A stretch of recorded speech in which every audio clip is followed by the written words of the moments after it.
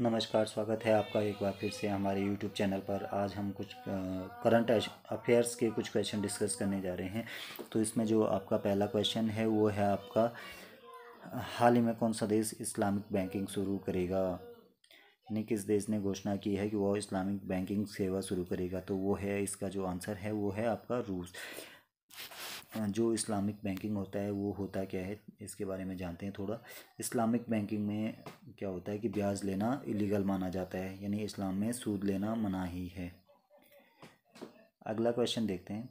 अगले क्वेश्चन में है हमारा, हाल ही में किस अफ्रीकी देश ने तख्ता पलट किया है?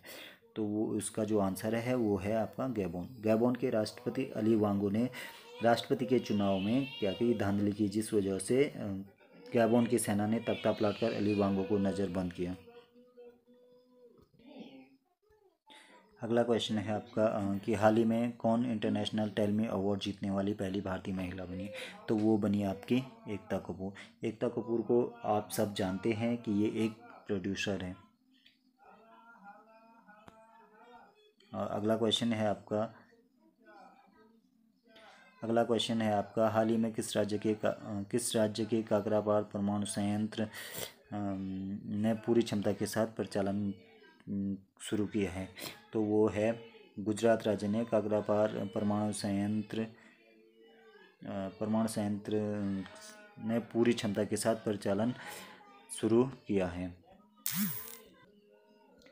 अगला क्वेश्चन है आपका, हाल ही में स्वराज ट्रैक्टर्स के ब्रांड एम्बेसडर कौन बने हैं? तो वो स्वराज ट्रैक्टर्स के जो ब्रांड एम्बेसडर बने हैं, वो आपके बने हैं महेंद्र सिंह धोनी।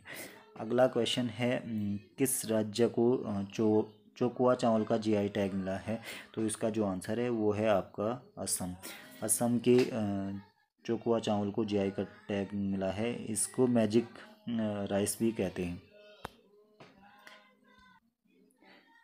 अगला क्वेश्चन है आपका, हाल ही में किसने रेम, रेमन मैक्स से पुरस्कार 2023 जीता है? तो वो जीता है आपका रवि कन्नन ने।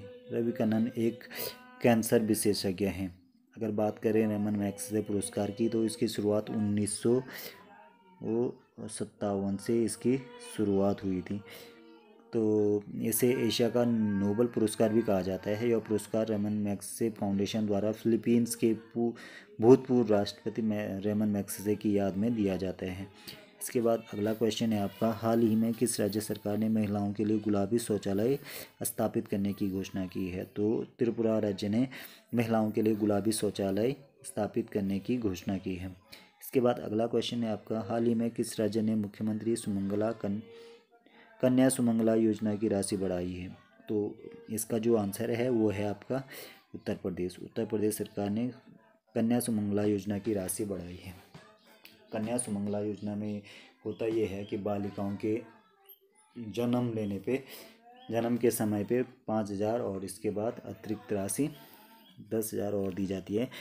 पहले ये राशि पंद्रह हज़ार थी, अभी वर्तमान में इसे बढ़ाकर पच्चीस हज़ार कर दिया गया है।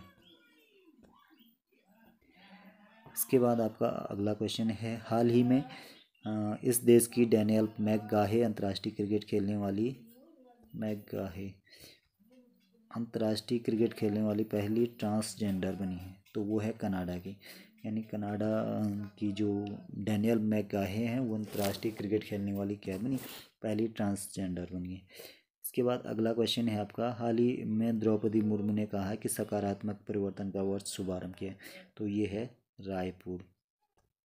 इसके बाद आपका अगला क्वेश्चन हाल ही में भारत ने किस देश को गैर बासमती सफ़ेद चावल के निर्यात की अनुमति दी है? तो वो दी है आपको मॉरिशस और मॉरिशस और भूटान दोनों को सफ़ेद चावल के निर्यात की अनुमति दी है। इससे पहले सफ़ेद, गैर बासमती सफ़ेद चावल के निर्यात पे क्या था? प्रतिबंध था।